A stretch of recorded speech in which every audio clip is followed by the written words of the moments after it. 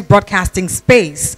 Your trust, loyalty, and unflinching contributions have been the reason that we continue to stand tall as Southwest's most listened to radio station.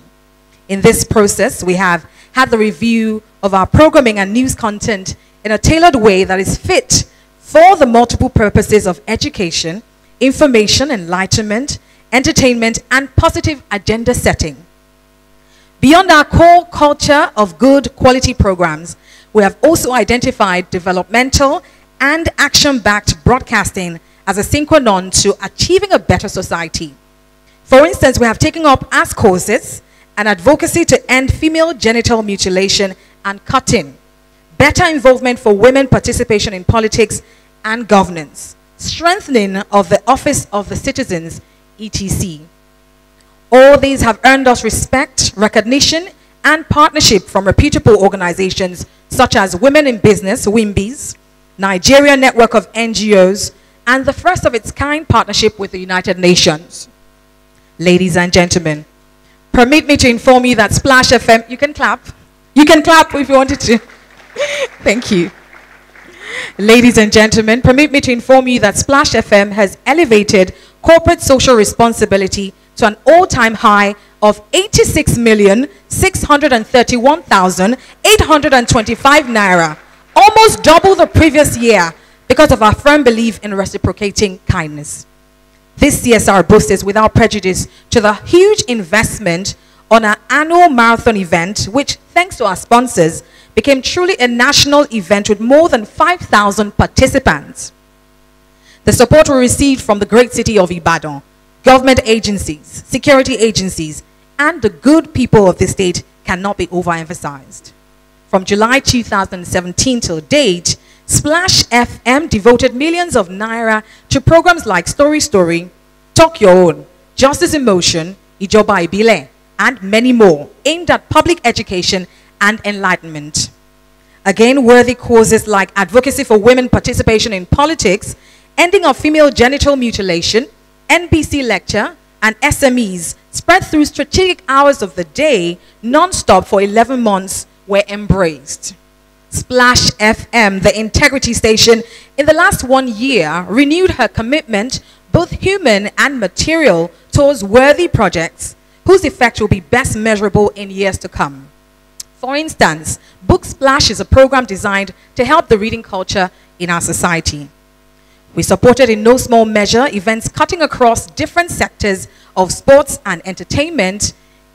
For example, Lagelu Inter-Secondary School Relay Race, Para Awards, Afrima Award, Youth and Adolescent Seminar, and Magic Nights, amongst a, a, few, a lot of, of others. In conclusion, Splash FM remains profoundly grateful to our many customers in Oyo State, Lagos State and beyond, listeners, well-wishers, and critics alike. Indeed, without your unwavering support, maintaining high standards in news and programming would have been an impossible task. You are greatly appreciated. Even though it is impossible to reciprocate your love in full, we will be unwavering in giving our best to that which has sustained your confidence in us. Thank you, and God bless you.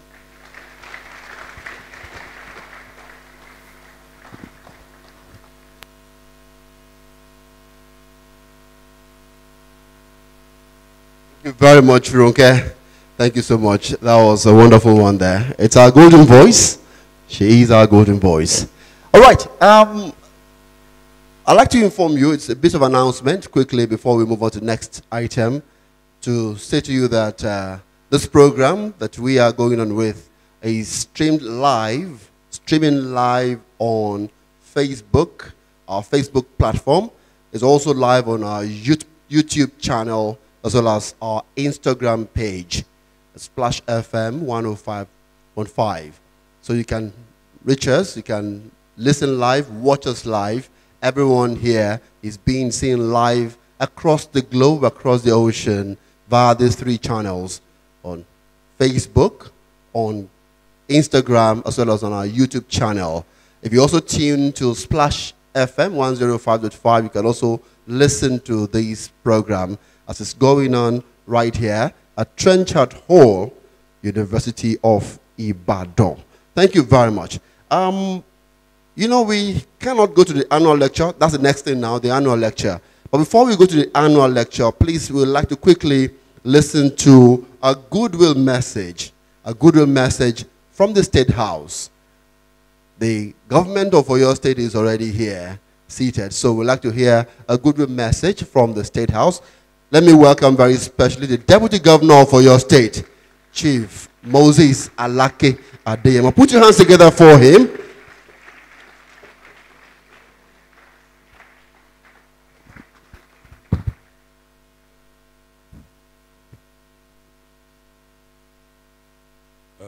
Good morning, ladies and gentlemen.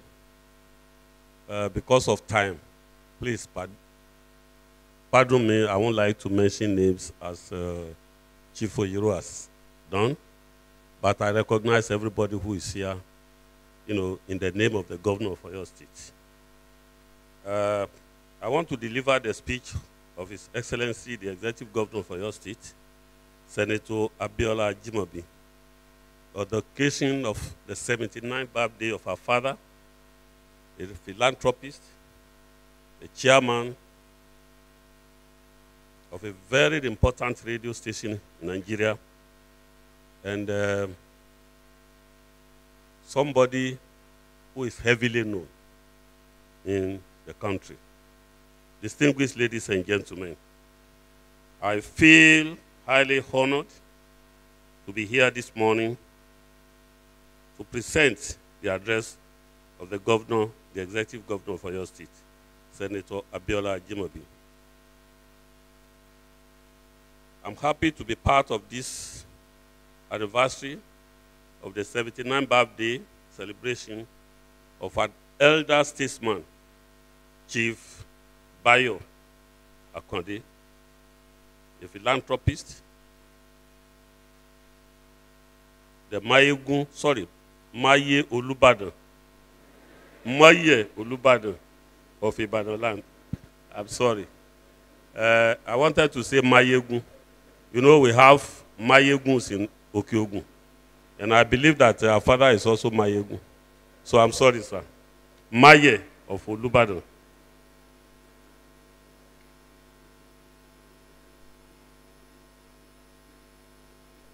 The Maye Olubadan of Ibadan land, Chief Adebayo Akande,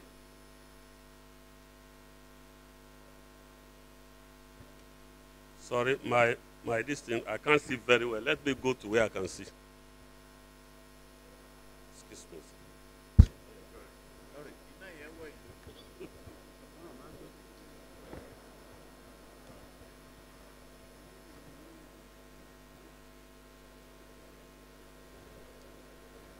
I feel highly honored to be here today to be part of the activities marking the 79th birthday celebrations of an elder statesman, renowned industrialist, business guru,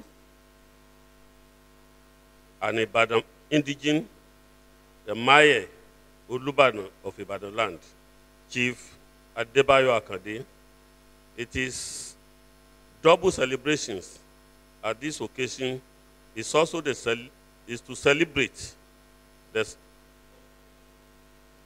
the, the success story of the Splash FM, one of the most known radio stations in Nigeria. A great impact in the investment of the people of Ibadan and Oyo State in general, with a public lecture to be delivered by a renowned educationist.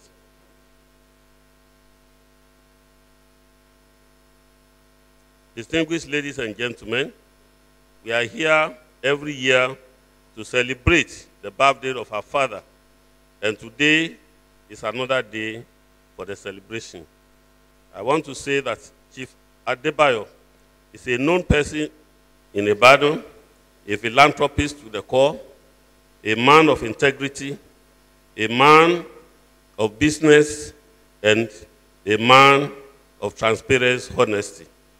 I want to say that I'm happy to be part of this celebration, and I believe that Oyo State is happy about this because he has contributed in no in a long I mean he has contributed a lot to the development of Oyo State. Particularly in man administration, he has been a support in everything that we do, and I believe that he is today I believe that today is here to celebrate the 79th birthday, and I believe that my absence here is not intentional because I've traveled outside Nigeria.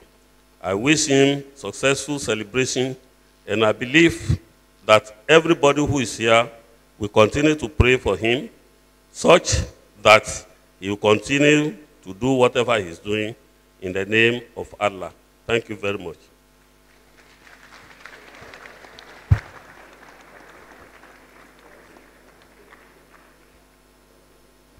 All right. You, you know, I will ask you to do that again. It's for the governor of the state and the deputy governor of the state, His Excellency, Chief Michael Adeyemo. Thank you, sir. Your Excellency, thank you very much for those very wonderful words. Um, quickly, before we move on, it's time for us to listen to our lecture. Um, yes, I, I think we're still on schedule, a little bit on schedule. Uh, I'd like to welcome very quickly, recognize them, so that I will not lose my ID card being a journalist. I'd like to welcome the chairman of NUJ Oyo State, Mr. Adewumi. Mr. Faniro, if you're still here, thank you for coming. Thank you so much. Please put your hands together for Mr. Faniro, even if he's not here. Um, a number of my colleagues are here. I've seen them. I'd like to quickly thank them for coming. But this one is a senior colleague. Oh, on Tuesday, you listen to him on Splash FM.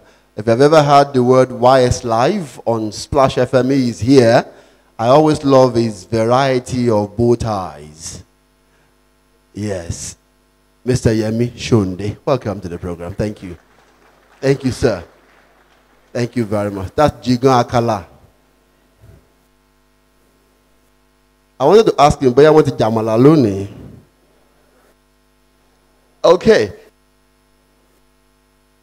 Welcome quickly. The President General, Central Council of Ibadan Indigenes, CCII, and his executive members. Permit me to welcome Chief Yemi Sholadoye. Welcome, sir. Thank you for coming. Okay, without wasting any time, uh, I'd like to quickly go into the very quickly now. Now, before I do that, he had told me and the editor that he does not want citation. Am I correct? So, we wouldn't do so much of citation, but why you still sitting down before you stand up, sir? I don't have a citation here. But I have something I want to describe you by while you are sitting. I penned down this morning that we have a privilege again to host a cerebral scholar, one you can call a scholar of scholars, no doubt. Is a teacher of teachers, an academics, a quintessential educationist. For me, I've listened to him. His remarkable footprints of excellence dotted the landscape of our education sector, and you cannot contest that in any way. His endeavor is a spread across science education, computer education, if you like, and environmental education. This professor is a specialist in higher education, science, computer, and environmental education. Is the first African to win the United Nations Scientific Cultural Organization Kalinga Prize for communication and popularization of science in 1993. I know that one. A former executive secretary of the National Universities Commission, NUC, with over 130 international published works and more. Welcome, Professor Peter A. Okebukola, OFR, for the 11th anniversary lecture of Splash 105.5 FM. We want to win a war, the battle against depressed quality of education. Chairman of the occasion, Chief Adibayo Yoro, our Daddy High Chief Murtala Konde, MFR, the celebrant of today. Our mommy, Chief Onikepo, Dr. Chief Onikepo Akande, CON, two-time Minister of Federal Republic, and immediate past President, the number one chief and industries in Nigeria, indeed in Africa, the Lagos Chamber of Commerce and Industries. A star-studded audience, distinguished ladies and gentlemen. Uh, recognize a handful of other persons uh, for reasons which you will know in a minute. Uh, one is our daddy, uh, Professor Akin Mabogunje, who is the chair of the governing board of the Center for Human Security and Dialogue of Olusegun Obasanjo Presidential Library, where I serve as director. I recall the MC saying that uh, he's looking forward to a day when Professor Mabogunje will win the Nobel Prize. MC, Professor Akin Mabogunje has won the equivalent of the Nobel Prize in geography. A few months ago, uh, he won that award, which was bestowed on him in, in France. So, Baba Professor Akin Mabogunje is doing Nigeria proud, he's doing Africa proud, and we are extremely delighted uh, about his progress. Of course, our daddy also, Professor Lucas, who has uh, contributed his immense quota to health security in the world. Uh, I also want to identify, or rather recognize, uh, Dr. Lekan Are. And uh, here on my short list, I have Professor Ayo Banjo. Professor Ayo Banjo is the owner of this university, by the way. He was vice chancellor of this university. Just like the chairman said, uh, I left this university just a few years ago, only 48 years ago. I took my exam in this Trenchard Hall 48 years ago. And uh, Professor Ayo Banjo goes down in history as one of the most successful vice chancellors of the University of Ibadan. He is currently the chairman of the governing board of the National Universities Commission, meaning that he holds the key to quality for all the universities uh, in this country. Now, when Group Captain Dr. Bisi Ojebola retired, extended the invitation of uh, Daddy High Chief Akande to me. I took a pen. Did that about several months ago. Several months ago. I took a pen and canceled all engagements I had crowded this day with. When Chief Akande calls, you must listen, you must hearken. So here I am to share my thoughts with you on the important subject of quality of our educational system. I take a minute to uh, look at the matter that our chairman raised about quality and standards.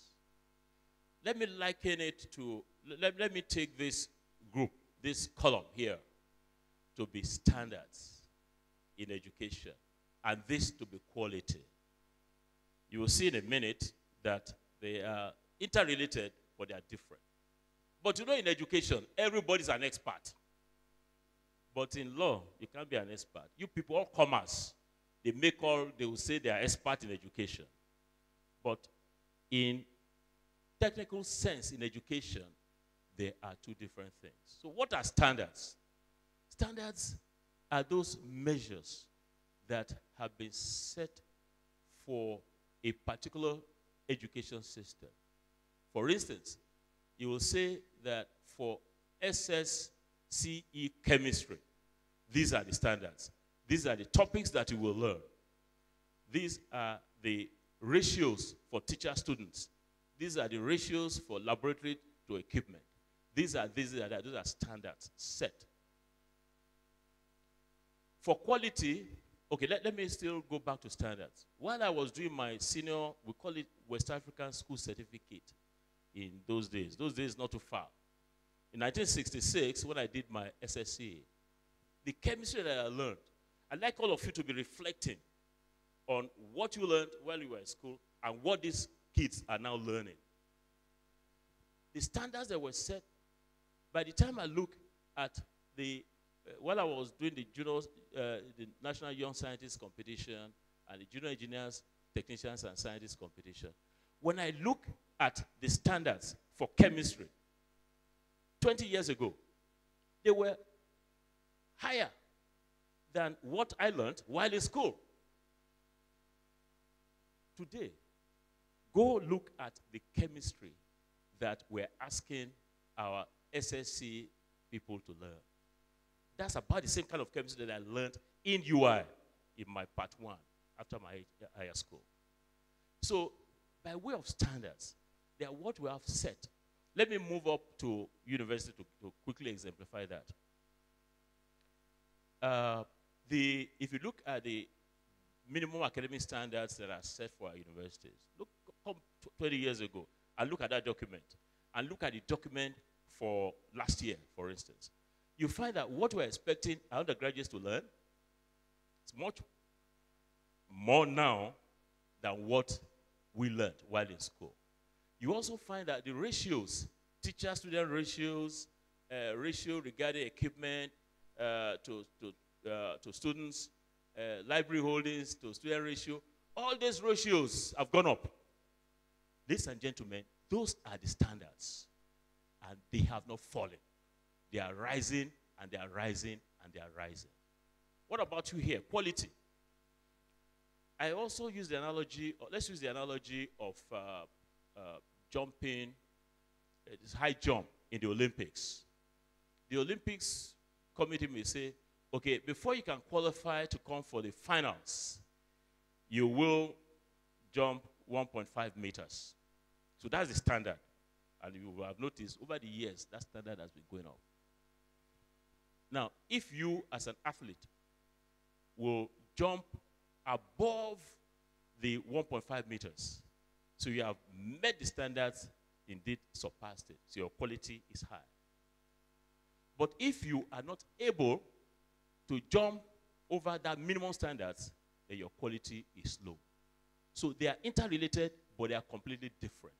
So when I hear people say standards to fall, I don't argue with them more because they are entitled to what they say. But in the technical sense, in education, and all of you will claim to, all of us will claim to be experts, it is wrong, it is wrong, it is wrong. So I'm agreeing with uh, the, the, the, lecturer in 1981 who, who, who, said that the standards are uh, not, uh, are not falling, but it's the quality, the quality of the people wanting to jump the standards that you have getting uh, depressed.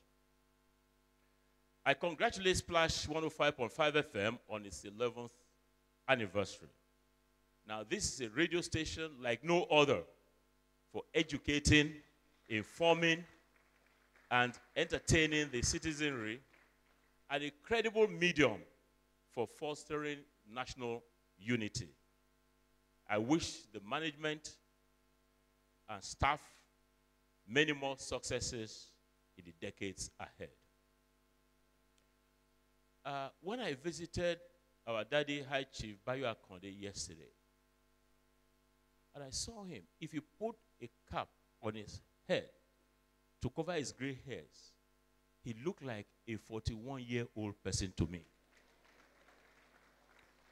And our mama, Dr. Onikepo Akande, she looked to me yesterday like a 20 year old. Today, she's looking like a 16 year old. So, what am I saying? I'm saying that the great God of heaven and earth has blessed them tremendously. And I give God the glory. And I pray God for many more healthy and happy years ahead for the High Chief Bayakode family. And for those of you that are here, now just note your age. If it is X, if your age is X, I pray God that it should be, you know, uh, it should be, you should live to be X plus 50. Huh? You don't want that? In good health, X plus 50, no matter what you. Our, our, our daddy, Professor Akin Mabogunje, is just 45 years old. so if I add 50 to it, it would be like 90 something. And uh, yeah, so God will continue to be with us, and God will continue to shower His grace and blessings on us. Let me tell you my, my personal view about longevity, looking, you know, looking young or, or, or old or whatever. It's essentially the grace of God. I recall that in this our UI, in this our independence also, almost one fifth of those that I entered this UI with in 1970 had gone. Many of those who will say, oh, you have to jog, jog, jog, jog. Oh, don't eat this one. There's cholesterol there. Uh, this one, there's too much of this thing there. Many of them are no more with us. So it's just the grace of God. I'm still young. I'm approaching 68. But I give God all the glory. And every day I wake up, I kneel down and say, Abba, Father, you have done me well. Please give me many more years in good health. And this same God that will continue to answer, my prayers will also answer your prayers. In this lecture, I will begin by reminding us of the critical role of quality education to national development, and then proceed to provide a situation analysis of the education sector. Here, I will show the mess we're in in terms of quality. Thereafter, I will highlight what we must do to win the battle against poor quality and restore the shine to the education sector. I have maybe 35 or more minutes now. So you're going to get a copy of the lecture and you'll find a, lot more details that I'm going to be rendering to you. And besides, what is it that I'm going to tell you that you do not know? Except, of course, there are some statistics that you may not be aware of, uh, statistics as latest as today, that I'll be sharing with you. So I'll gallop very quickly through uh, a number of the issues, and I expect that you will be able to get the fuller gist in the paper. Education as cornerstone for development. For the purpose of the lecture, I've defined education in a very broad sense. I've defined it as a process of updating the knowledge and skills of the individual for the purpose of making that individual useful to himself or herself and to the community. It is not strictly taken to mean going to school. Although going to school is a pathway to receiving education. The home, the church, the mosque, and other places of worship, the marketplace, a ride in a public bus, interaction with significant others, your friends, your colleagues, and siblings, and apprenticeship in an auto mechanic workshop are some other pathways. These different, in quotes now, roads to education form the basis for the classification, say formal, non-formal, and informal. The formal road being school-based. The non-formal in non-school settings, such as learning to be a barber or tailor as an apprentice of the master barber or tailor. That's non formal. Non formal education is also offered through the mass media in the form of educational broadcasting and the programs of Splash 105.5 FM. The informal pathway is through casual and usually unplanned interaction with other persons or things.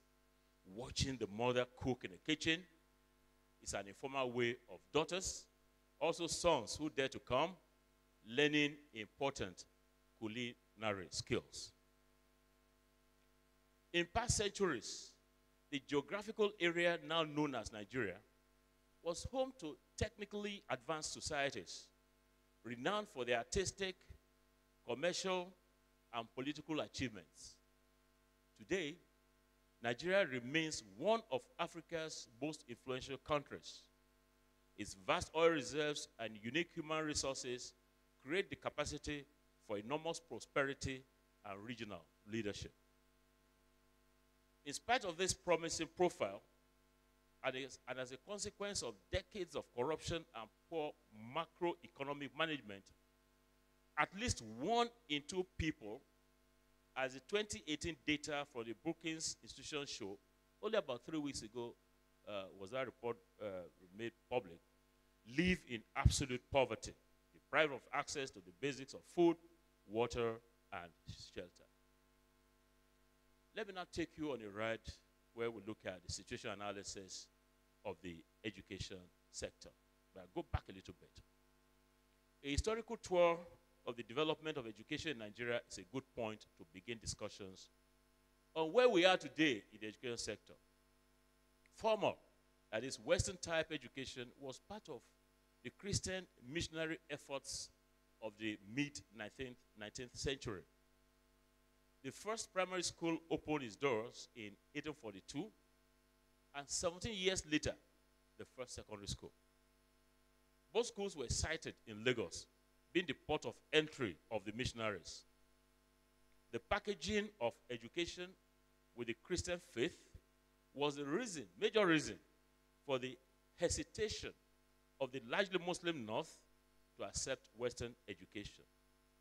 In 1880, when the colonial government took, took count of the missionary schools in the country, preparatory to enacting the 1881 Education Ordinance, there were 56 of such schools in the south and only 18 in the north. The British colonial government intervened by approving the establishment of government schools, but now mainly in the north. However, the rate of establishment of mission schools outpaced government efforts, and by 1920, the schools in the south, where Western type education was offered, outnumbered those in the north about 10 times. This turned out to be one of the early causes, one of the early causes of the educational imbalance between the north and the south of Nigeria. The requirement for high level human resources led to the establishment, also in Lagos, of the first higher institution, the Yaba Higher College. The college was established in 1932 and it formed template for the establishment of the University College Ibadan in University College in 1948. UCI secured autonomy from the University of London 1962 as a full-fledged university. From independence to date, the education enterprise has gone through tensions and fair weather, high points and low points. Let me give you a few of these high and low points. From less than 3,000 primary schools in 1960, enrolling about 1.3 million pupils. There are now over 94,000 public and private schools with enrollment in excess of 32 million. Secondary school numbers and enrollment went from 1,227 and 24,640 respectively in 1960 to over 25,000 public and private secondary schools in 2018 with about 20.4 million students. Now, at the tertiary level, there has been similar growth. From one university college in 1960, there are now 165 universities. The 165th one was added only last week, with aggregate student eh, population of over 2 million full-time and part-time. Now, since population growth rate outpaced the education sectoral growth rate, such quantitative expansions failed to significantly reduce literacy rates. The education report card saw a leap in many of the quantitative indicators between 1960 and 2018. Now, continuing with gross morphological comparisons of the sector 1960 and 2018, now with a lens of quality, finish with quantity, stark differences pop up. The graph takes a downward plunge. In 1960, Chairman, ladies and gentlemen, the standard six product had good skills, good skills for the workplace. In 2018, the typical university graduate, I'm not saying all, the typical university graduate can hardly be touched with a 10 meter pole by serious minded employers. I digress one second. Uh, in, uh, where was it? 20, uh, what is it? 20, 2006. I, I took a couple of uh, applications for approval for private university to the Free Reserve Council. Finished my presentation, the president, President Obasanjo said, yes, uh, any comments approved? What minister raised his said, not approved. Obasanjo said, why? Said, why are we going to be approving more? The ones that we have, the products are as useless as anything. I took serious objection. And I, you know, started attacking the, the President Obasanjo said, we're going to chase me out of the Federal eh, because I can't be talking to his minister like that. And I said, his minister can also not be to be talking, not can't be talking about my constituency like that. Then the minister said, Mr. Executive Secretary, let me just give you two examples. And one other minister was sitting by myself and this, uh, this, this, minister and I, we organized some interview for graduates from your yes, from your universities. Somebody who claims to have 2-1, 2-1 in computer science does not know what a mouse is. Very good. I'm, I'm glad that, that, that, that's what I told him. Said, somebody, is that, he asked the other person, is that not true? The person yes, that's what happened. That somebody who has a BSc chemistry, 2-2, they asked him about acid-base titration, what I learned one million years ago in the secondary school. And that person didn't know it. I was alarmed. By the way, my application for approval was turned down that day. So I, I rushed back. I was furious. I went back to the commission and I convened a meeting of management. And I said, people, what is happening here? This is what I heard. Can that be true? Oh, they said, the secretary, me don't know. Ah, I nearly entered the ground. I thought that my people will, they said, me don't know. I said, don't know what? That look, several of these universities what they are doing is this. Because they are, um, they are proprietors, especially state universities, they are very, very poorly funded. They are the worst among the three clusters that we have federal, state, and private. The state universities are the worst in terms of funding. The funding gap is as huge as this. Fortunately, I had opportunity uh, that the vice president gave to me. They had a uh, national council on education, excuse me, National uh, Economic Council meeting. Two Thursdays ago, two, yeah, two Thursdays ago, I was asked to address all the governors. And I told them, the funding gap there is huge. So when the governor will tell the vice chancellor, oh, look, oh, we're only going to give you 40% to pay your salaries. So go and look for the rest. So that's what is happening. Go and look for the rest. Where am I going to get the rest? So what they do, what the vice chancellor then do is they will open, and you know it, they open all manner of sandwich programs all over the place. And in a typical sandwich program center, you now have uh, some people who have enrolled. Let's take this computer science person. We're enrolled to do computer science, and uh, we'll not come to class. Towards the close of the semester, we'll now go to a lecturer. Lecturer, I've just come from Dubai. I can see that the size of a shirt is 16 and a half. Uh, we'll pack uh, about uh, four or five shirts, give to lecturer. Okay. And then, oh, sir, I noticed that the tire of your motor dome do something. We'll bring two tires. Or that uh, at, at, Christmas or the festive seasons, uh, we'll now go to, ah, mommy, well, well done, oh, uh, just give this small envelope for, for this thing, bag of rice and 7%. What's adult literacy rate? See, if you, if you took those who are said to be adults in a population of 198 million, and then uh, literacy rate by definition of UNESCO, not only is how to read and write, not only in English. Oh, if you read Yoruba, you are literate. If you can write, literate. So, literacy rate in, is defined as the proportion of the adult population that is able to write, read, and write in any language. So we have very, you know, the uh, statistic is poor here. In spite of the huge resources, Nigeria is rubbing shoulders with countries on the ignoble list of poor performance in education. Chairman, ladies and gentlemen, Nigeria is too endowed to have about 12% of its basic education kids sitting on the floor or under trees to learn in 2018. Less than 20% of the public primary schools in the country are sufficiently resourced to deliver quality basic education.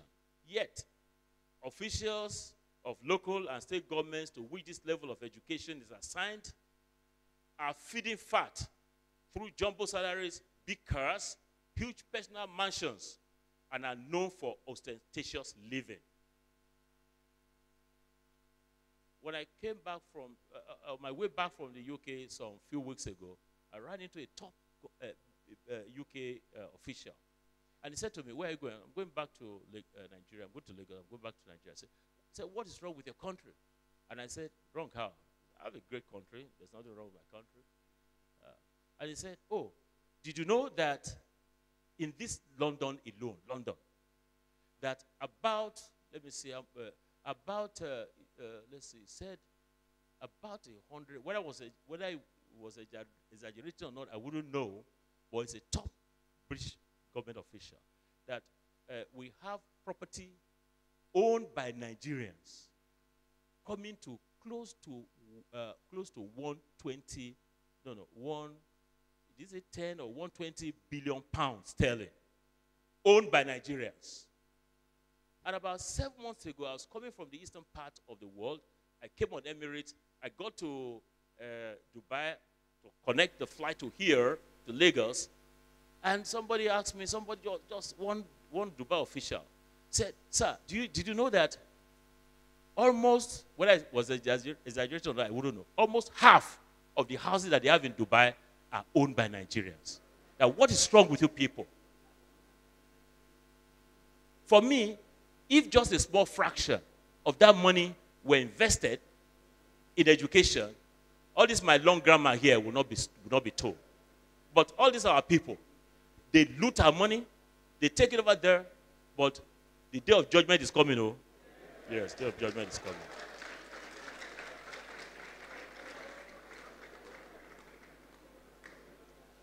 Between 1960 and 1975, the system attracted respectable funding, and the quality of delivery was comparable to what obtained in institutions all over the world. The system benefited from a high dose of high qualified local and expatriate staff. The contributions of Nigerian scholars to the research literature patents and inventions were about the most outstanding in Africa. Indeed, between 1965 and 1970, Nigeria contributed the highest in Africa to the international literature in science, engineering, medicine, social sciences, and arts. Teaching quality was equally exemplary. So also were community and extension services. However, by the late 1970s, some crack has started to develop in the system. Something interesting. When, if somebody graduated from this our UI, 1980, he will say that, oh, you see, the quality of, uh, uh, of uh, graduates started to fall after the person finished. If you ask somebody who graduated from 1990, he will tell you the quality started to fall from that 1990.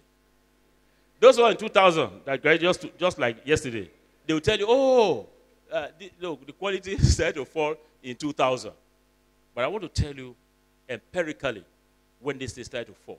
But the, the, the, the logic of my argument is that it has been falling and falling and falling and falling and falling since. So any point that you see, you are even better than the next point. So how did this whole thing start to? Uh, this, uh, the the oil boom of the early 1970s has started to clear, and the huge injection of funds into the system started to wane. This triggered a slight depression in the quality of delivery, though not dramatic enough to upstage the eminence of Nigeria in the African higher education space. As stated earlier, by the mid 1980s, quality started to depress at an alarming rate. Mind what I've said. And this is standards as a quality started to depress at an alarming rate. Two major factors conspired to trigger what is now regarded as the tipping point for poor quality. The first is the structural adjustment program which brought in its wake the devaluation of the naira. More or less overnight, the money available to educational institutions, especially universities, depreciated about 200%. Expatriate staff salaries became non competitive, and exodus back to their home countries began in earnest. May I recall, while I was here, my chemistry, my chemistry class, uh, Professor Biddlestone, uh, Professor Hurst, all these wonderful scientists from out there. What they were earning was slightly better than what they would have earned in their home countries. But when this adjustment came in, the salary just dropped significantly. And so, what will they want to do with less than what it? So they then had to, uh, uh, to, to, to go back. Laboratory equipment and library books, typically purchased with foreign exchange, became increasingly out of reach on account of the devalued naira. Gradually, old equipment could not be replaced. Latest books and journals could not be purchased. The decay are setting in earnest, and quality began to nose nosedive. Our chairman will recall that when we were in Independence Hall, it was like a two, maybe three, a two-star hotel. Those before us maybe enjoyed more than we did, but I, I think we were at the point when the thing, uh, you had left, sir, but by the time I left in 1973, uh, it had started to bite. So you go to in the in the uh, in the hall. We're, we're two in the room. Uh, every morning, we get people to dress our rooms. Change our best bed sheets. If you have dirty clothes, you put them out there, and uh, the laundry people will come pick them and return them. Uh, our cold room, our library, everything was working quite fine. Those people who were there this time, you enjoyed those days? I'm sure you did. Uh, the second reason for the sharp decline in quality in the mid 1980s and the beginning of the decay in the system was the acceptance by political leaders of the advice by the Bretton Woods institutions, that's the World Bank and IMF, that African leaders should invest more on basic education and less on higher education. Sharp reduction in allocation to universities became common practice. Now, occurring at the same time as the devalued naira, universities found themselves in dire financial straits. Quality took a hard beating. As it turned out, the phenomenon described above was a feature of the higher education landscape in the whole of sub-Saharan Africa. The region suffered severe setback in the higher education subsector. The scars, ladies and gentlemen, are still visible today in most pre-1970 universities in Africa. Moving further on the road from 1960 to date, we encounter significant landmark events, many of which were among the so-called dividends of democracy. Well, establishment of all the state and private universities and the federal universities of technology coincided largely with periods of democratic governance. Funding of the universities also observed a boost. The military is ascribed credit for the establishment of most of the second generation federal universities and perhaps little else beside. The disdain of the academia has been suggested as raison d'etre for the lackluster support of the military for university development. Now let me fast track to 2000 the universities were short of everything, short of everything but students. There was acute shortage of staff to cope with the much expanded system. Funding inadequacies persisted. Quality of instructional delivery was poor. Frequent strikes leading to closures, exerting toll on quality of graduates. Incidents of uh, examination malpractice cultism, and sorting did not abate. Many graduates, especially from illegal satellite camp, uh, campuses, unapproved universities, degree mills, and sandwich programs, demonstrated incompetence and because of their large numbers, gave the Nigerian graduate a poor public image of being half-baked. From 2000 to date, the system eased slowly, very slowly, into a recovery mode. Success stories are chalked up in a number of fronts. Within the last eight years, funding, especially uh, to federal universities, has taken a huge leap.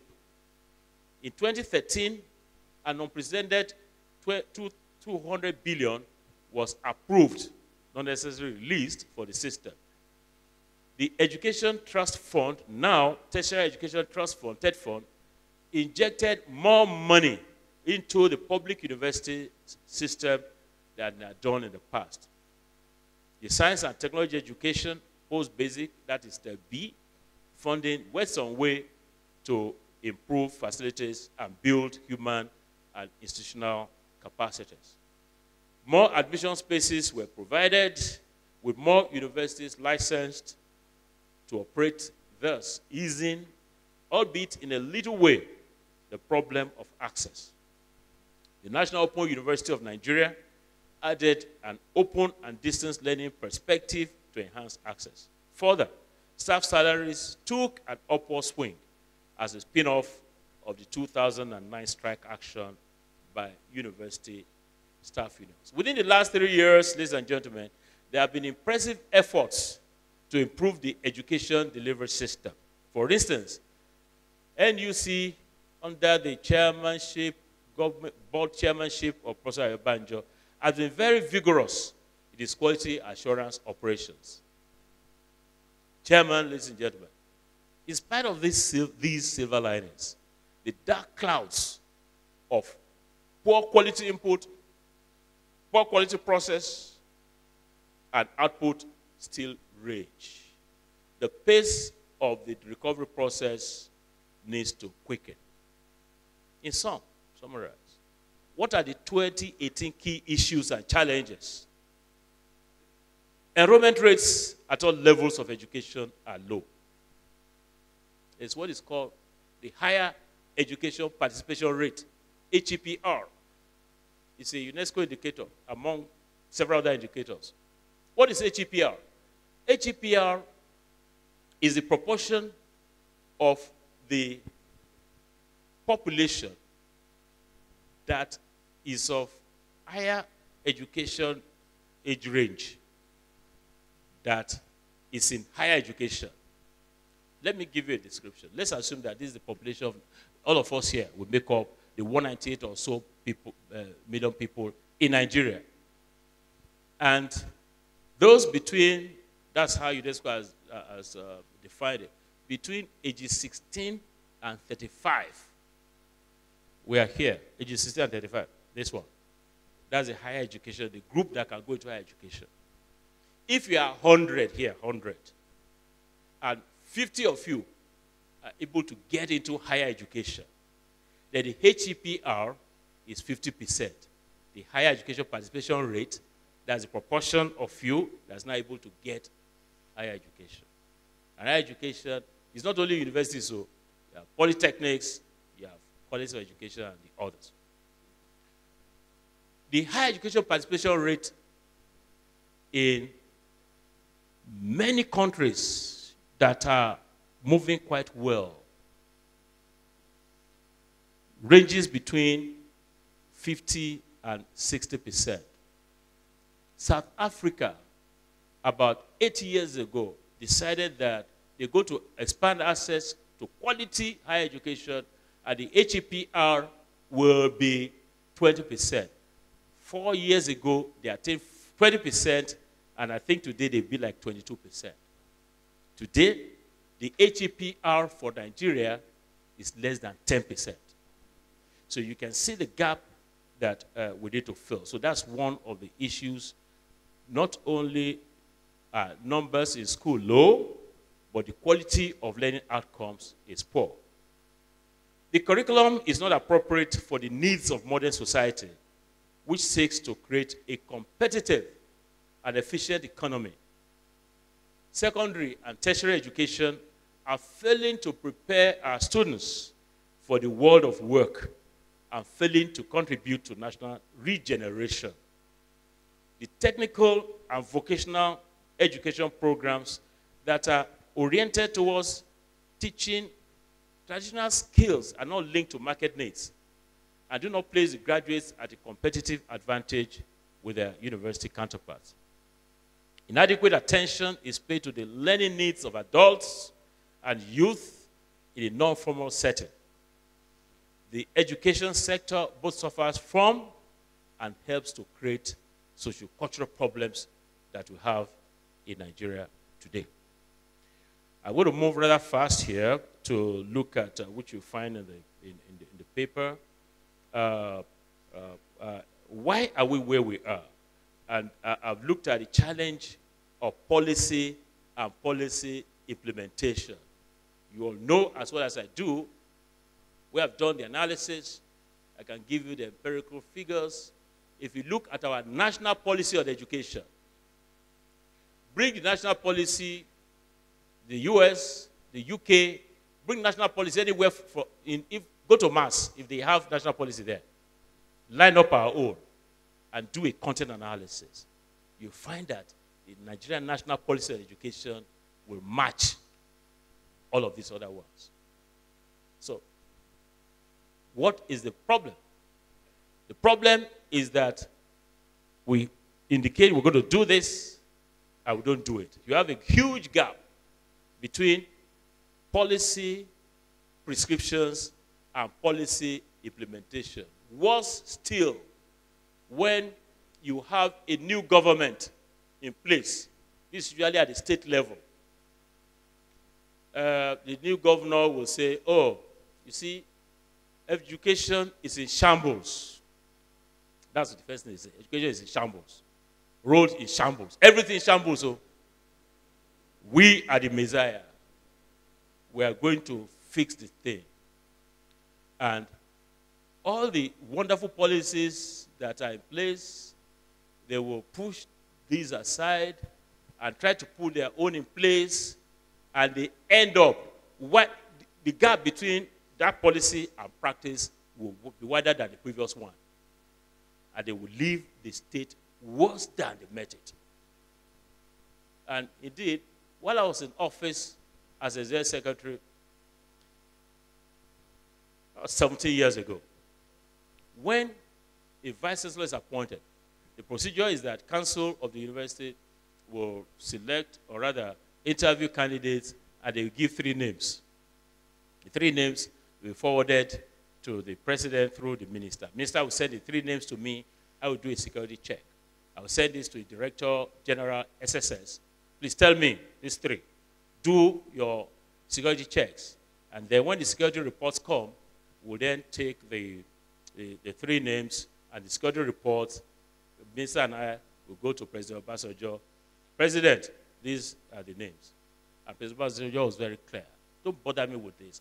Whoever has come first and has no negative security report, the person appointed. So did he drag out his pen?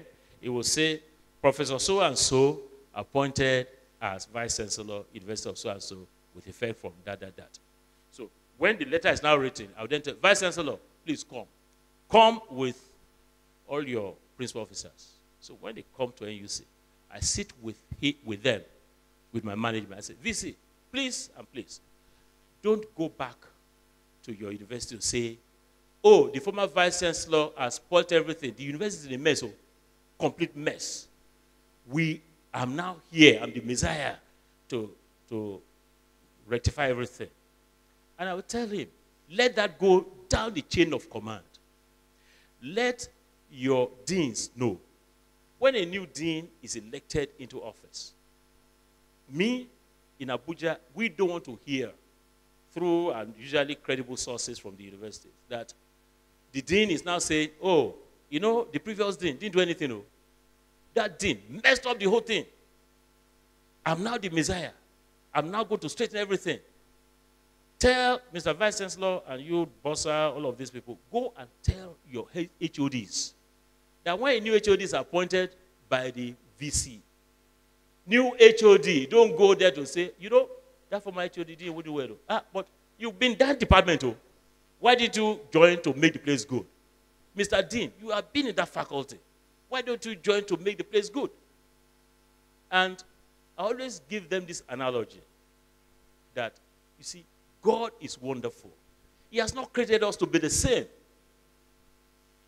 Any institution like University of Ibadan or the country like Nigeria any leader God has given us, it, like, like those two uh, uh, establishments, university, all the, all, the, all the state or Nigeria, they are like buildings. There are some people who are good electricians. That's the strength that they have. So when they come to the building, they do the electrical very nicely. And of course, since they are not good plumbers, oh, by the way, that word, you know, I had a, an interesting chat with uh, some people two days ago. I said, ẹni plumber wà I said, my friend, the pronunciation, I know be Oyibo, but the Professor Banjo people, they have told us that when it, that B, that next B, so long as something is after it, is silent. So you don't say plumber, you say plumber. I'm sorry to insult you. Can we say plumber? I beg you, when you leave here, this is not lecture, we are going to do exam. When you live here, don't go out there and say, plumber, one It's plumber. God bless you. Now, the other one, that's also an aside. You know, uh, bomb, B-O-M-B. By the time another word now comes after it, like B-O-M-B, then E-R. Now That B, the second B is also now silent. It's a suicide bomber, not suicide bomber. Ah, but back on day will punish you if you if you begin to. Uh, so I've always likened this thing to be uh, uh, a, a house in progress, and everybody God has endowed them differently.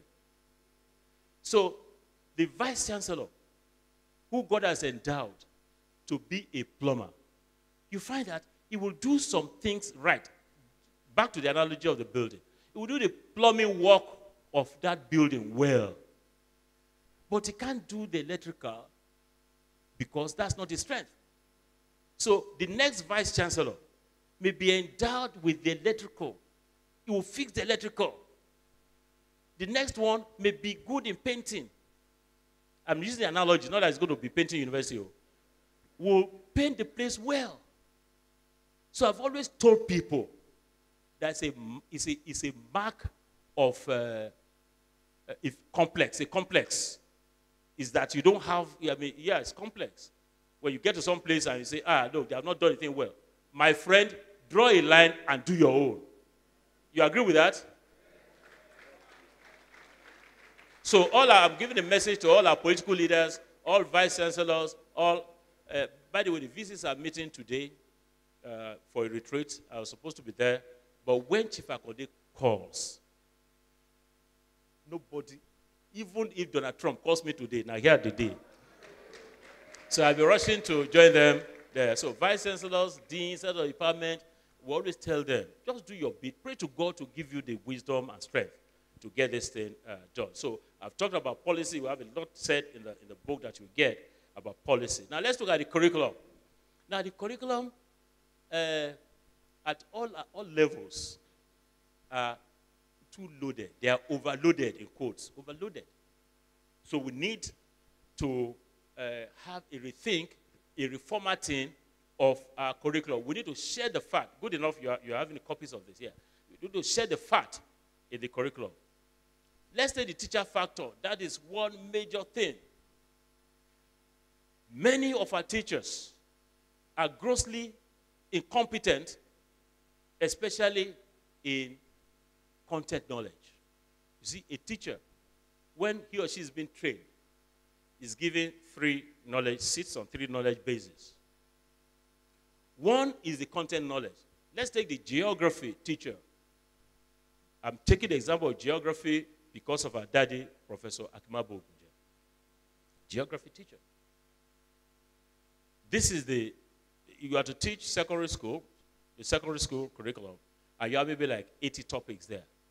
As a teacher of geography, you should be well soaked in all those topics. And there should be a gradient. A gradient is like this the gradient between you and the students you are teaching in that subject. So the teacher preparation, when you are being prepared to teach in the secondary school, the program should teach you to have very high content knowledge. The second one is pedagogic knowledge. What's pedagogic knowledge? Pedagogic knowledge is knowledge of how to teach, how to use the chalkboard, how to ask questions, class management, and all of that. The third one is a combination of the two pedagogic content knowledge. That is, how to teach that your subject, how to teach your geography. Let me tell you what's happening out there. What's happening out there is, or rather, the expectation is for the teacher, uh, you should have like about 70 to 80 percent of what you are being prepared, what have been taught in the teacher preparation institutions in the teacher preparation institution to be content knowledge. So you have rich, you know the content. And then the remaining 20 to 30% will be the others. But what is happening here now is that at the very best, in all our teacher preparation institutions, the content knowledge is about 40, maximum 50%. So what do you, what happens? I like you when you leave here, if you have time, Go to any of our schools. Sit, if you are a chemistry teacher, sit there or math teacher and watch what these teachers are teaching. They don't know as much if, as the children they are teaching. That's the truth. That's the truth because that's what I do. That's my business. So we have that challenge with teachers. Apart from the training, you all know as well as I do that today 9th day of June 2018 in not less than 10 states. Teachers are owed not less than eight months' salary. So, on, how, how do you deliver education? How do you win a battle against quality?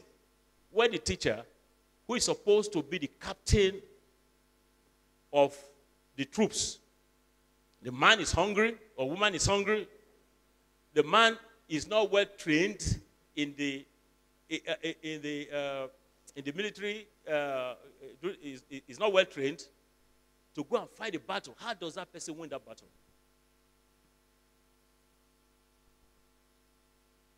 I will uh, like I said, you get all of this in there. I'm just going to move quickly to, yeah, student-related challenges.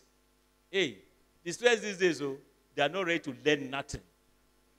They are only ready to cheat, assisted by their parents. Shame and shame on all those parents. The parents these days, they pay the teachers to help their kids in the exam. They will not, when the child comes to, to home, they will, they will allow the child Facebook and all the social media, that's what they engage in. Go and watch the typical child in the home. You find that boy or girl, they are watching channels, Mnet, all these dance, dance, dance things. That's what they do. And you parents just sit there, even enjoy the thing with them. While I was, you see, the, the federal government had, it's like governing board for their unity schools. I was the chairman for King's College. And I insisted, I told the parents, look, you people, all your children, there's a channel on DSTV. It's called 319. It's Learn. All the subjects, English, maths, ge- uh, ge- geography, whatever. That channel helps, the, the, helps children to learn. When you go home, those people with DSTV, please tune to 319 and see what we have. I insisted that all the children, when they get back, they must at least two hours a day watch 319. So our students are not ready to learn. I recently conducted a survey of reading culture, reading culture in the Nigerian university system. Our daddy, Professor Ayo Banjo, has a copy of that report. And it's clear that our students are not reading as well as they, as, as they used to do. So the challenge of facilities uh, if you went to any of the public primary schools, typical public primary school, you will lament. Roofs leaking, floor, no tables, no nothing. And our political leaders are out there enjoying all over the place. I think the conscience, conscience, Mr. Conscience, I'm going to call Mr. Conscience to go and visit them. So, you have that challenge of facilities. So we're going to a battle, ladies and gentlemen, that is quality in our front. Our quality has well trained troops in teachers, facilities, students, curriculum, and that. And we are here, you know, we are here trying to win that battle. So I'm going to go. Uh, also, we have the challenge of curriculum delivery uh, these are the people we are going to uh, fight against. So let's, let me go very quickly as a roundup to how we can win the battle of depressed quality.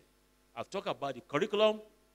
We need to shed the fat in our curriculum at all levels and ensure we embed what we call 21st century skills.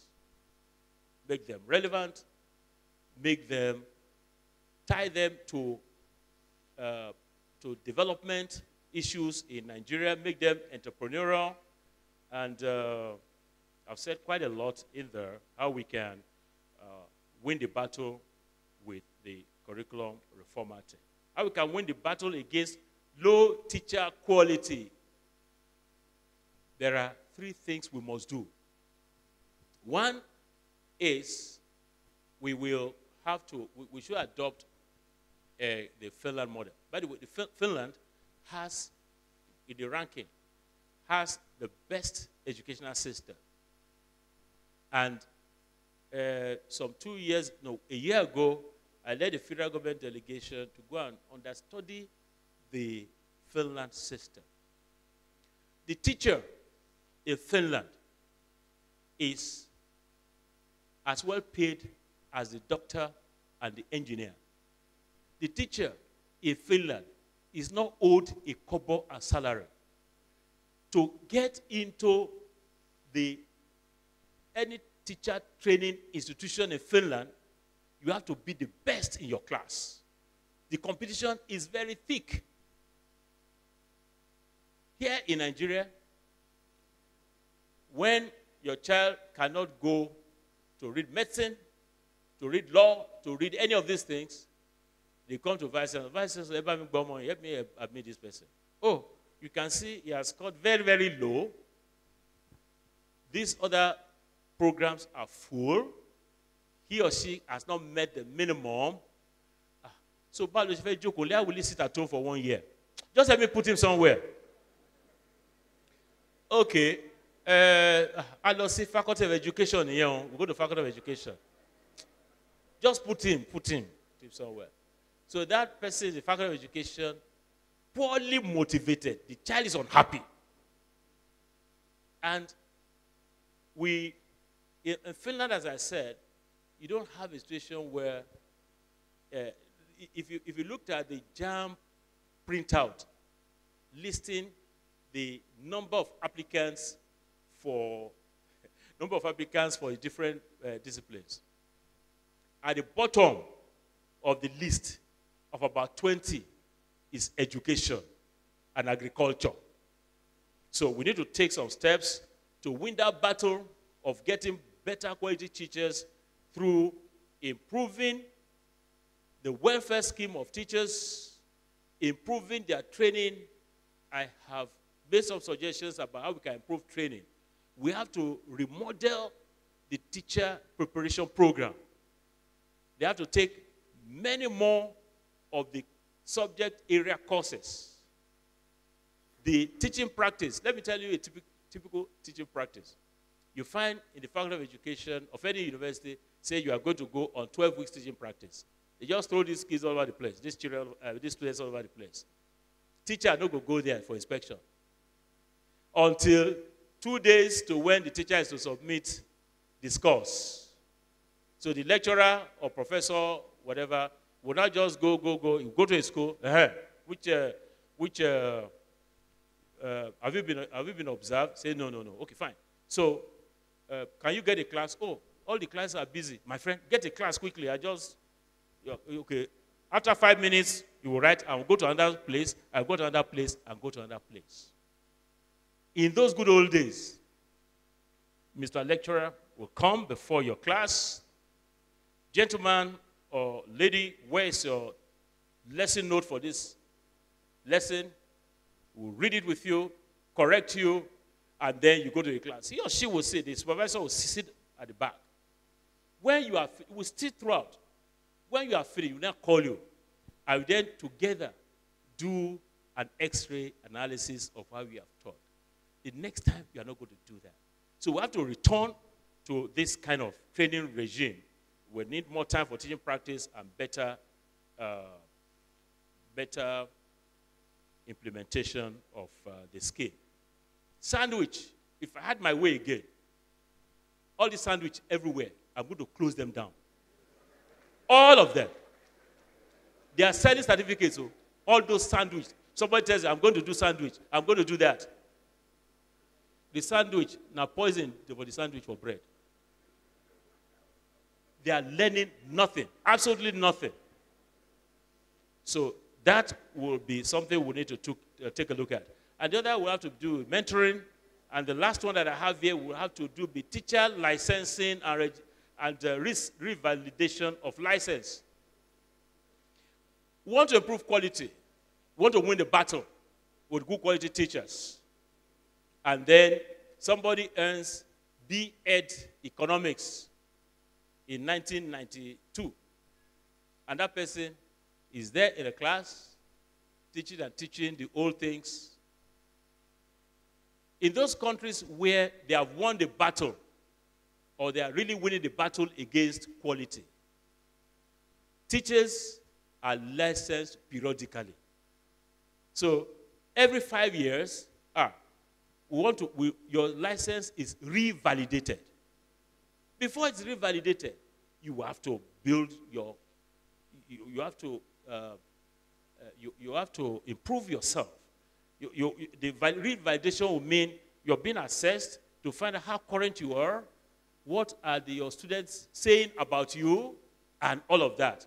And then you are relicensed. But if you have it like open-ended, the way it is, then we are still going to have that battle lost lost and lost on the teacher front. So we must install a mechanism for teacher licensing and revalidation. Now I'm going to close by letting you know one important thing that has happened.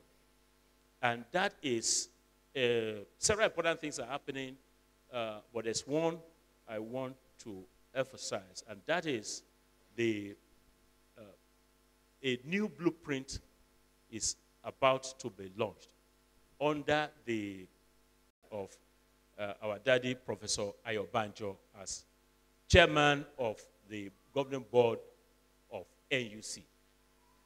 Blueprint University Education in Nigeria.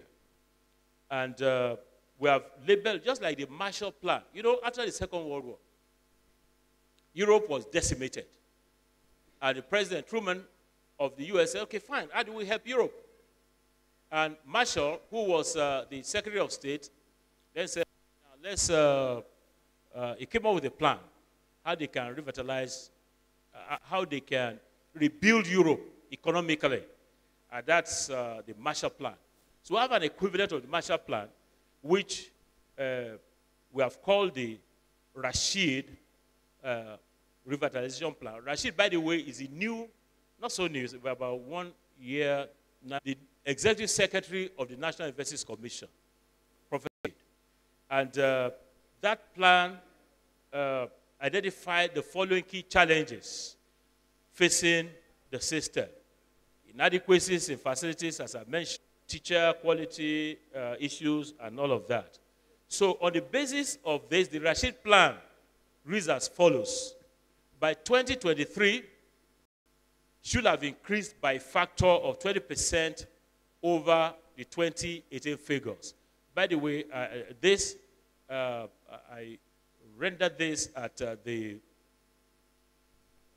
23rd convocation lecture at the State University, which uh, Professor Sam Ayonlaja, former Vice Chancellor of Crawford University, uh, presented. Professor Ayonlaja, I recognize you, sir.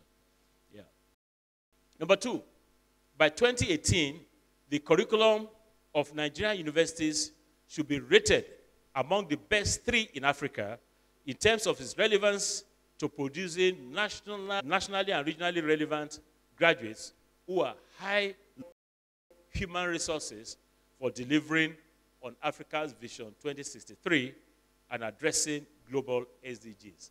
So you tell me, yes, it's talk. But I tell you, this is being action. In another few months, we're going to get a brand new uh, uh, curriculum, the new standards for the university system. Number three, by 2023, at least 30% of facilities for teaching, learning, and research should have been upgraded to meet international standards and maintained. These are the silver linings how we're going to win the battle.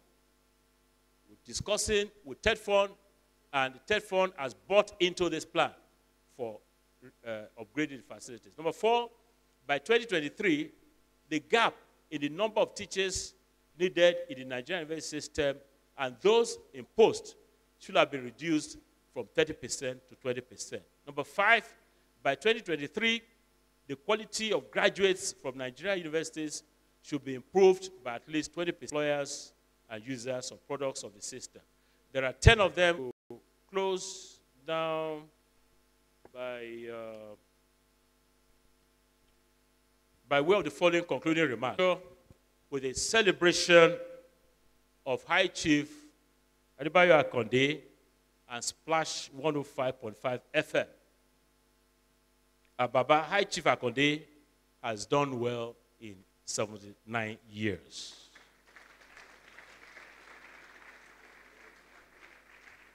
We examined the state of education in Nigeria and identified the hurdles by way of quality of this delivery system.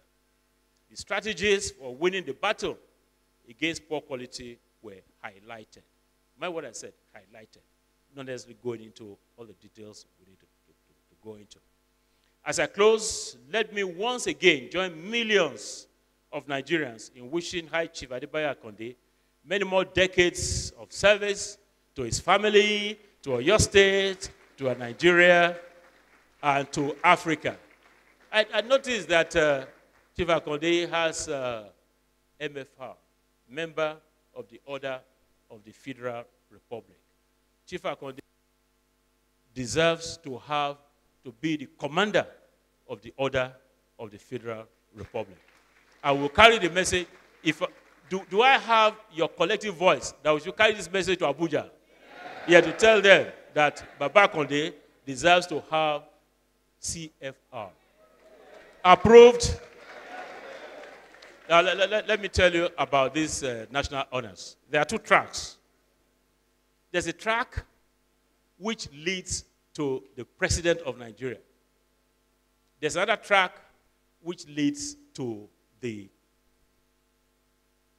vice president. The track of the president is the order of the Federal Republic. Order of the Federal Republic. The one on the vice president is the order of the Niger. So the race goes like this. At the start of it, you are just a member of that order. So you get member of the order of the Federal Republic, that's MFR. That's what our daddy Chief Akande has. A member on this side is member of the order of the Niger, MON. So when you hear MFR, the person they here, president's line. When you hear MON, the person is here, vice president's line. After being a member, then you want to be an officer. So the next level is officer of the order of the Federal Republic, OFR. The officer on this line is officer of the order of the Niger, OON. After I don't become officer, you want to be commander now? Uh-huh. So the next one is commander of the order of the Federal Republic. Here, and on this side is the commander of the order of the Niger, which our mommy has. Dr. Onikepo Akande has CON. And they're saying what God has joined together, let the man put us under. How can you give Baba MFR and give Mama CON? That's not good enough, don't you think? So after CFR, the next one for this one is the Grand Commander of the Order of the Federal Republic. That's GCFR. This one here, the last one, that's the Vice President, Grand Commander of the Order of the Niger. This building there is uh, named after uh, the first uh, vice, the vice chancellor who graduated from here, Chief uh, Professor Tekena Tamuno. So Professor Tekena Tamuno, 17 years ago, was on my board at NUC, and he called me one day and said, Peter, hmm. I said, sir. He said, you know, uh, I was OON before, but they, not, they have now given me CON. I said, congratulations, sir. He said, it means now that I'm a con man. yeah, so uh, we wish him uh, very well, and uh, we trust that the federal government will do. You have contributed so much, Baba. You have done so, so well to Nigeria and to Africa. I also want to congratulate Splash 105.5. Please continue the good work that thou doest. Be a platform, that's Splash, Splash uh, 105.5 FM. Be a platform of spreading messages of love rather than of hate.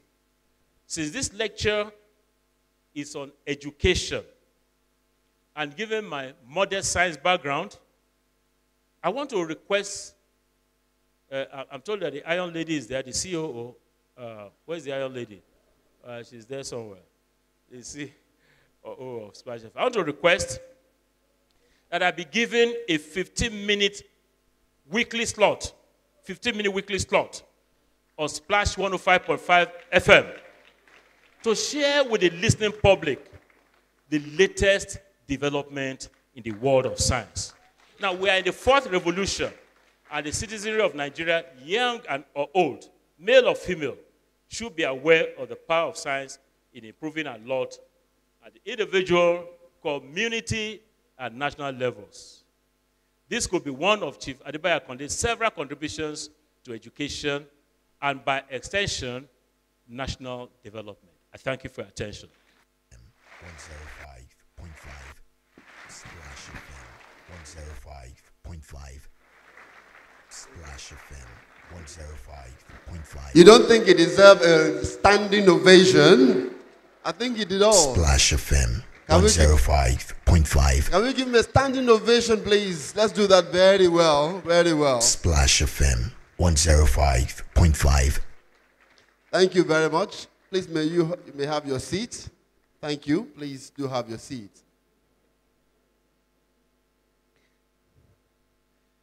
Wow. All right, thank you. Um, we have quite a number of things that we have to do now, but you'll agree with me that that was that was very educating. Do you agree with me? If you agree, say hi. Thank you. We don't have any nay. So the highs have it. Thank you very much. Prof, thank you very much for that delivery. We appreciate you. We are going to have questions. But before you begin to raise your hand, please don't raise your hand yet because we're going to lay the rules for the question and answer. We're going to lay the rules. But before we do that, I'd like to welcome. I'd like to welcome some people, very especially. They came in while the lecture was going on. And uh, it's always good to recognize our royal fathers. So our royal fathers are here. And that's in Yoruba land. You pull off your cap before you do that. Yes. Uh, so I want to welcome very specially àwọn bàbá wa tí wọ́n wà láàrin wa ní ìsìn mo ní kí n kí ọba aládé ni o kí n sì fi ìyìn fún gbogbo àwọn bàbá wa láǹfààní àti àti. I'd like to welcome His Royal Majesty Ọba Ẹ̀dí Oyèwọlé the Ashipa Olúbàdàn of Ìbàdàn land. Please put your hands together. Kábíyèsí bàbá. kẹ́ ẹ pẹ́ fún wa o. Kádé ó pẹ́ lórí kí bàtà ó pẹ́ lẹ́sẹ̀. Ẹ̀sìn ọba ó jòkó pẹ́ o. Ẹ ṣàṣẹ. I'd like to also welcome very specially another royal father in our midst, His Royal Majesty Ọba Kọ́lá Adégbọ́lá, the ẹ̀karùn-ún balógun of Ibadan land. Kábíyèsí bàbá. Kábíyèsí. Ẹ. I've also been asked to welcome very especially too a septuagenarian in our midst. I welcome Chief ML Lagunju. Baba, welcome to the program. Thank you very much for coming. Let me put on notice that we will have presentation of gift of plaques for our guest lecturer. We'll also have for our chairman. And someone just whispered to my ears that the sociology department has a special gift for Baba. The HOD is here. I will be calling him when the time comes to do the presentation. And also, our heart Tunde Odunlade is here who wants to present our original artwork that he had made for our guest lecturer and also for our chairman. For all these people, please put your hands together for them. Please put your hands together for them. Let's appreciate them. So I'll call them when the time comes for us to, to take the presentation. That done, it's time for question and answer. And when I said, I said question, please don't put your hands first. Please, let me just lay these. Together we agree. It's question and answer. It's not a time for commendation, or it's not a time for appreciation, or not a time for uh, other things, but the question and answer. So let's agree now. Do we all agree that we'll give only 60 seconds for each person that wants to ask a question? Do we agree? I didn't hear you. Do we agree, everyone? Thank you very much. So let's agree. Yes. Let's agree that 60 seconds. After 60 seconds, I will cut you from talking on Splash FM, premium time. 12,000 naira is one minute. So after every 60 seconds, if you don't drop the microphone, I may have to charge you. Thank you very much for that. I've been asked to welcome him. It's important for me to welcome him before I take the question, please. I'd like to welcome him because I know if I don't, I may suffer it. But I welcome the Honorable Commissioner for Information, Culture, and Tourism, Honorable Toye Arulogun. Welcome, sir. So, it's time for question and answer now. I'm going to start from the high table here. I'm going to give it to the high table here. We'll take three here. Very quickly, if you have anyone who has question here, just three questions. Then we'll take questions from these two rows, this row, and this side. Three each. So let's go. Anyone from this side, sir? All right, sir. There's one there. Daddy. Anyone again? That's it. So let's take it from him. Then we're going to take, we're going to take from here. They'll come in now. When they come here, they will make the choice here. Three, three, and three. Okay. All right, let's go. One, one, one. All right. Yes, sir. The Chairman, the chairman of the occasion, the chairman of the occasion, our governor here present, the celebrant, all other protocols duly observed. I congratulate Professor Okebukola for a paper well presented. I just want you, sir, to give us, to reconcile some of the presentations you made. You talked about the bad situation of corruption in this system. You talked about calling vice chancellors that, okay, when you take over, just draw a line and move on with your program. And also, you talked about situation report when you assume a position.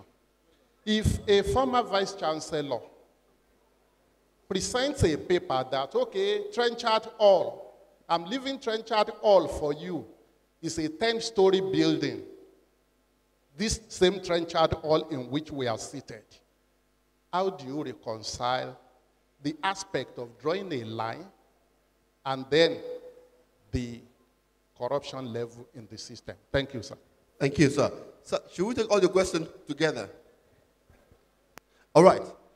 The guest lecturer said they only want three questions. So we take one from here, one, and one from here. The man in the hat. Hat, not cap. There are- All, all protocols duly observed. I am Pastor High Chief Yemisi Phillips. When I heard about this uh, topic on Splash FM, because that's the only acceptable radio station in my house and home, I was stupendously or staggeringly disturbed by the topic. I just wondered what is there to win when there is no battleground, when there are no fighters, when the government is not ready, the parents are lackadaisical, the teachers are not well paid, so they are not interested. And the pupils, they have lost a sense of Sir, responsibility. question, sir. So the question is, in this uh, disorganized situation of education, is it possible for us to avoid this depression? Or do we go back to the founding fathers of our educational system, which are the British people? I know the North is running away because of religion. They are saying Western education belongs to Christianity. But education is sine qua non to progress, to development, to success, and right, even to victory. Thank you, sir. Thank you very much. Thank you, sir. All right, the man, the heart. And then we take female at this side. Uh, the celebrant and the distinguished lecturer, uh, all protocol observed. My name is Larry Babalola, ex-director of commercial services BCS. Uh, my question is, can there be any consistency in education so that there is no fall? Because, like the lecturer said, if Party A wins an election against Party B, it will change its own policy to another so that the party, the, the, the, the principle and policy followed by Party A will change entirely. And the curriculum vitae will change, uh, will change co- completely. Like uh, be- before now, we have history. Sir, In the, in Just ask the question. that- uh, the question. Uh, can there be any consistency in policy so All right. that the education can, can be okay. can? Consistency in policy. Yes, ma'am.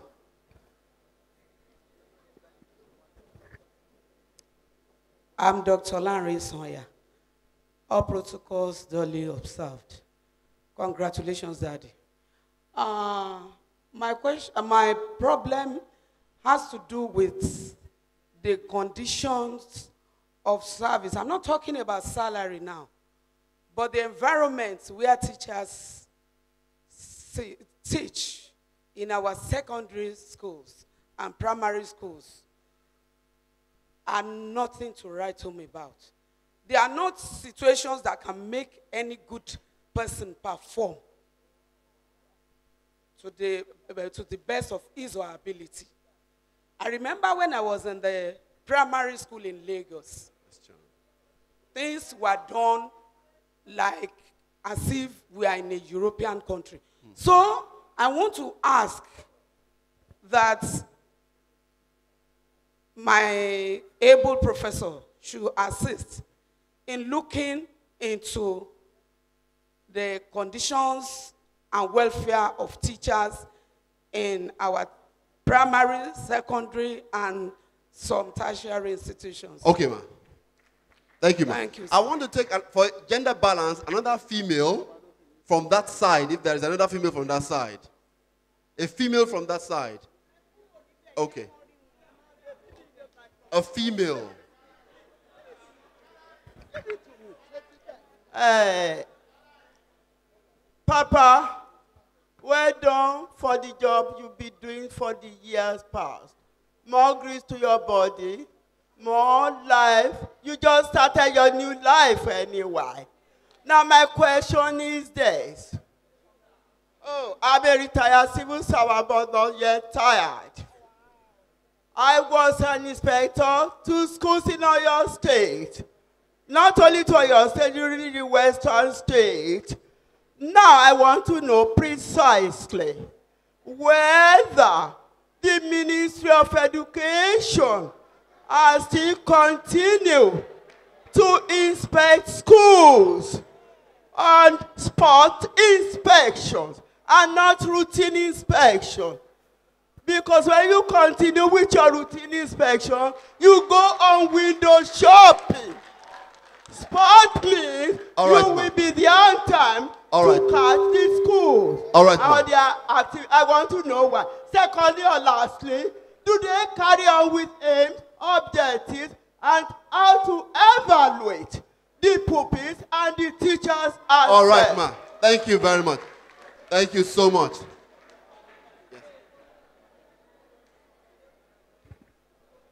uh, chairman and um our daddy, the celebrant, and our mommy. We'd like to thank you all. Uh, a- a- a- apparently, uh, we can see many more people who want to ask questions. But I'd like to uh, plead with all of those people who want to ask questions uh, to maybe read the, read the book and it may give some answers to the questions you may be willing to ask. So I would like to apologize most sincerely The reason being, I'm going to, I'm up immediately, I'm off immediately to Abuja where the vice chancellors are meeting. So I'd like to apologize most sincerely. Now let me go in the reverse order of the questions. Is Ministry of Education still inspecting the schools? The answer, Mama, is that yes. Yes, but no problem. The answer is that they are still inspecting the schools, but all they are going out to do is just collect envelopes from the people. I have, we have studied the quality assurance activities at our basic education level. We have inspectorate or quality assurance departments in all these places, but they are not doing it the way they should do it. They will come to the school, especially the private schools, when the proprietor gives them the envelope, they will not even enter the compound. They will just go back. But I'm not saying absolute, but that's the common practice.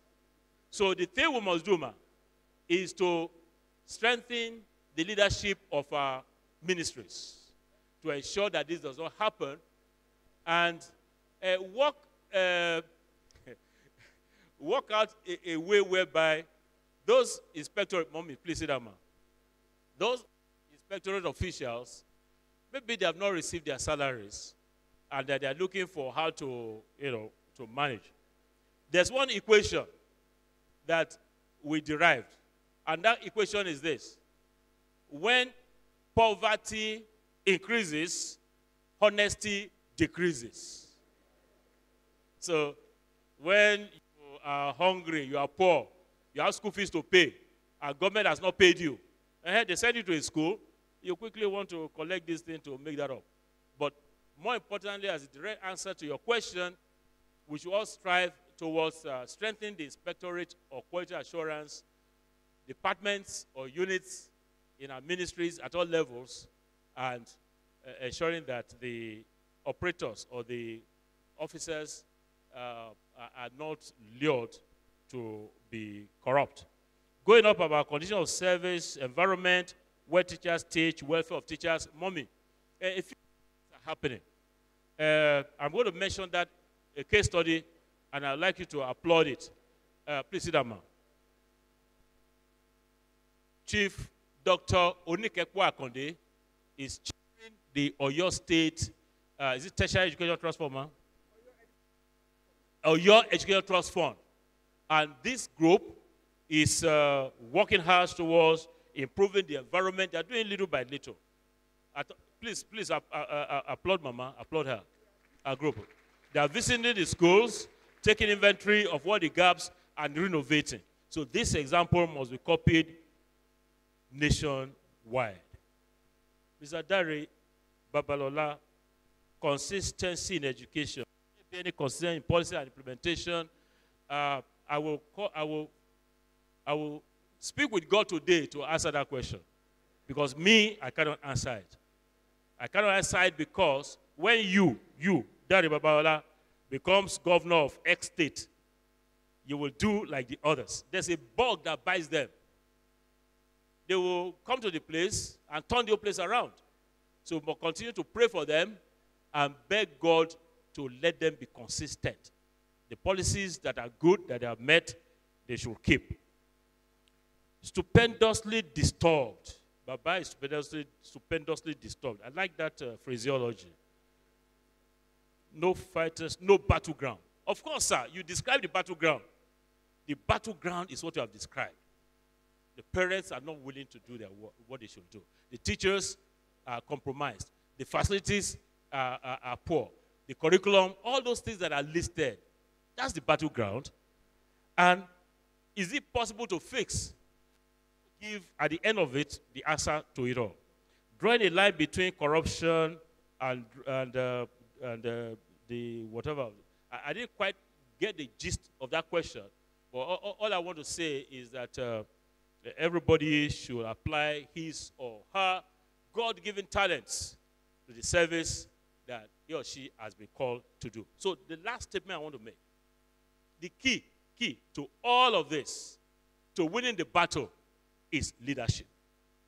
The key, the master key, the silver bullet that will hit the enemy, hit him or her hard, and win the battle for us is leadership.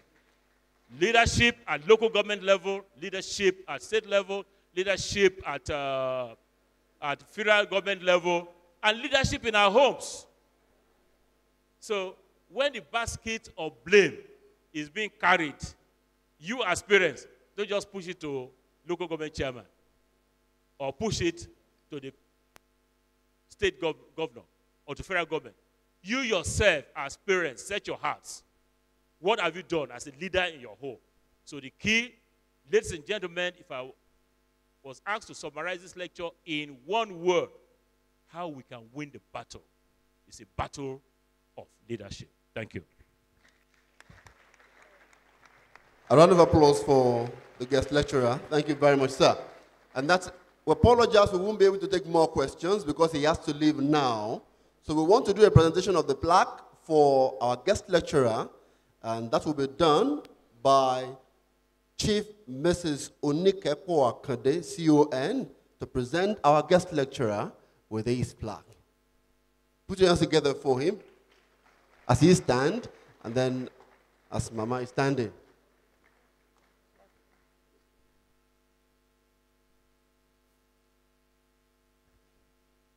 All right, so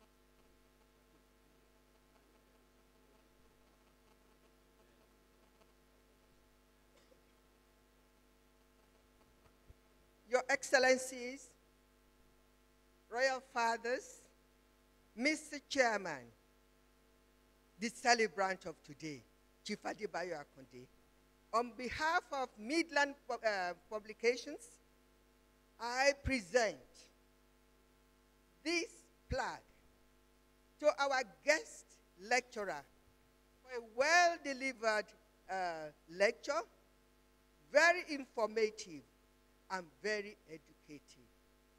Professor, we are very Thank you very much.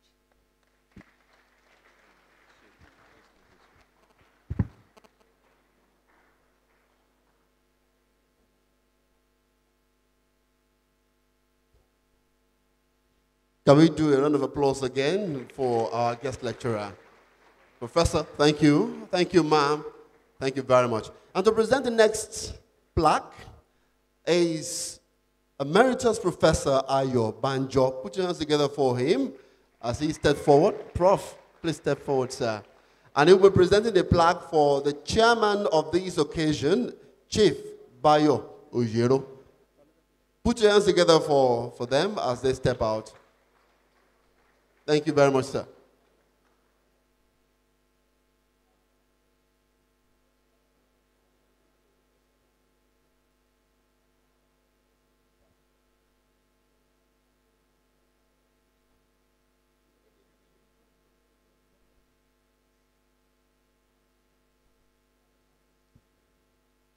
Distinguished ladies and gentlemen, I think in the course of his uh, address to us at the beginning of this uh, meeting, he has traced back the beginning of uh, our association.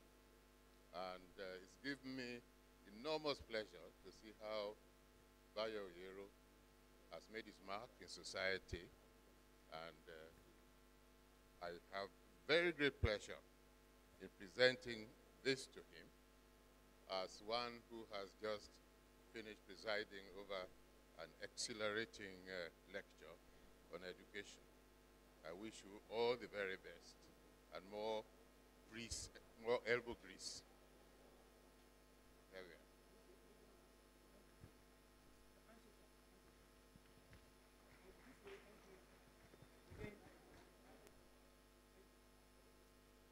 Thank you very much, sir. Let's put hands together for both of them as they go back to their seat. As they go back to their seat. Very quickly, I'd like to welcome, while we were doing the question time, I saw uh, the representing Lagelu Akinyele Federal Constituency at the House of Representatives, Honorable Olatoye Temitope Sugar walked in. Let's appreciate him and give him a round of applause. He's somewhere around there. Welcome, Honorable. Now it's time for us to listen to the vote of thanks. We want to move it before we do the cutting of cakes. I've been asked to move it, vote of thanks, and then we'll do the cutting of cake. I'd like to call Bayo Akande Jr., Papa, to do the vote of thanks. Put your hands together for Papa as he steps forward.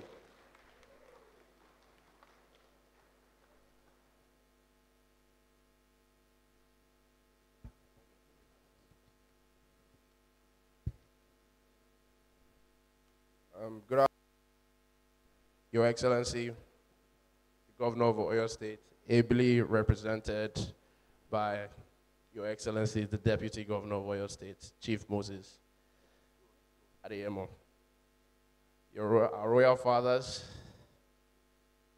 High Chief Adebayo Akande, and distinguished ladies and gentlemen. On behalf of this huge family called West Midlands Communications, let me start by expressing a profound gratitude to God Almighty, who has given us this day the good health and goodwill to be here. He alone deserves all the glory.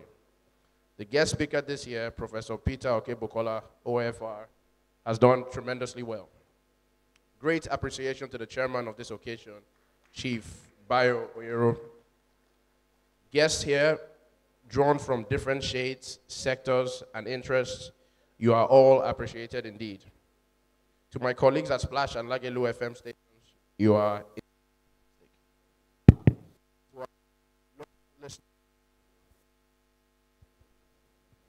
To our loyal listeners all over the world, we pledge our unflinching commitment towards good quality content and will continue to positively impact the society. We remain grateful to our esteemed customers who keep our business afloat. We assure you of great value for your money always. As a family, the Akandes, we today wish our patriarch, High Chief Adebayo Akande, MFR, Maye Olubadan of Ibadan land, Maye, excuse me, a blissful 79th birthday. As you continue to break new grounds in contributing your quota to the great city of Ibadan, Oyo State, Nigeria, and humanity at large, may you receive new strength, new grace, and life more abundance. Thank you.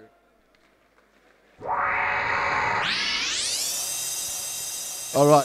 That was Papa. Put your hands together for Papa there. Okay.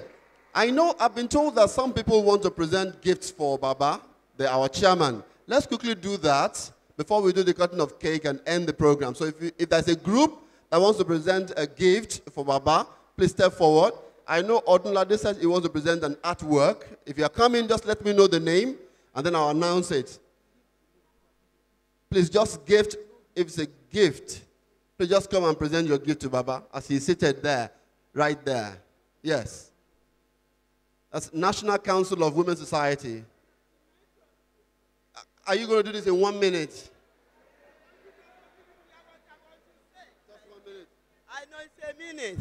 Papa, we appreciate the work you be doing for the nation with long life and prosperity. From National Council of Women's Society of Ibadan here, presented to you and donated by our loving President, Mrs. Ashimololu. She's so lover to all. She love all the women this state and she's doing a beautiful work. So for your own merit of excellence, we presented these things to you, sir, with long life and prosperity. Amen. Thank you very much. Thank you very much indeed.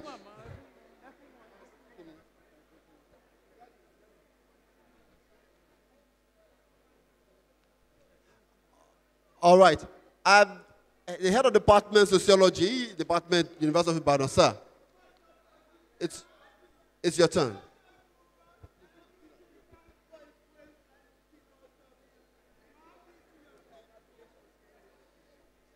The chair, sir. Uh, the celebrant, sir. My name is Professor Ifeanyi Onyeonoro, the head of Department of Sociology, University of Ibadan. We are here, I'm here on behalf of the department and on behalf of the staff and students of that department to appreciate you, sir, for your kind gesture to the department, with particular reference to funding uh, programs with, you know, some millions. We are quite appreciative, and we want to say on this occasion, may the Lord God Almighty keep you, preserve you, to continue the good work you're doing in our society. Amen.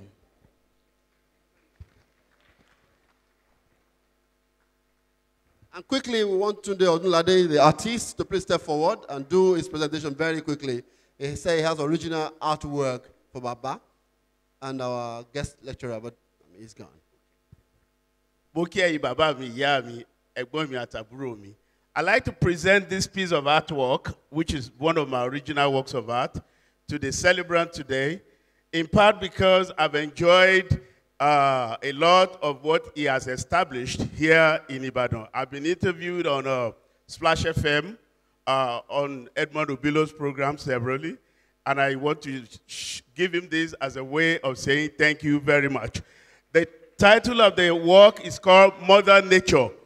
Um, it takes quite a large art to be able to do something for the public, and then you're not really expecting any gain. If it comes, fine. If it doesn't, which I believe is the spirit behind uh, Chief Akande's uh, uh, modus operandi. Thank you very much, everybody.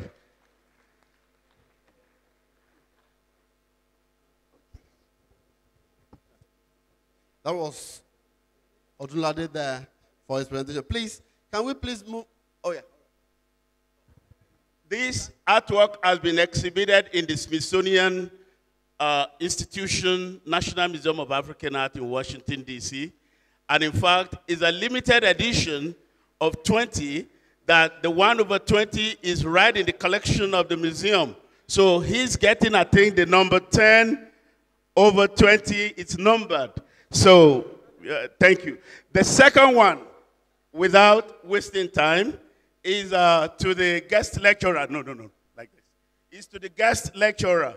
And this one is titled The Valued uh, Professor. Uh, uh, the message in it is that um, the town and the gown supposed to work together. And with what I've seen him doing over time, he has been able to demonstrate that the town is an integral part of the gown, while the gown is also an integral part of the town. So that's why I'm presenting this to Professor Okebukola. It's been the last 17 years since I've been looking to meet him because somebody had introduced me to him. I never had the opportunity of meeting him until today.